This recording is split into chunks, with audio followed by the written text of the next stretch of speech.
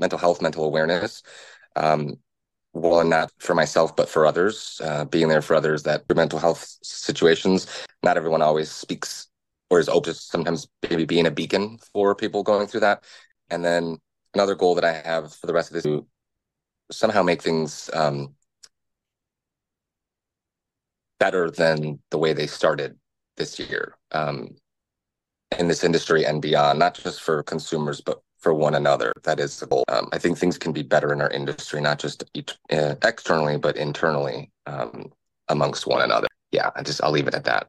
A lot of the negativity or the toxicity and and or the bullying and or the versus that or versus this or stepping on people like that. That's that's gotta. It's been going on for too long now. Um, eight years specifically, and, and I hope to make that.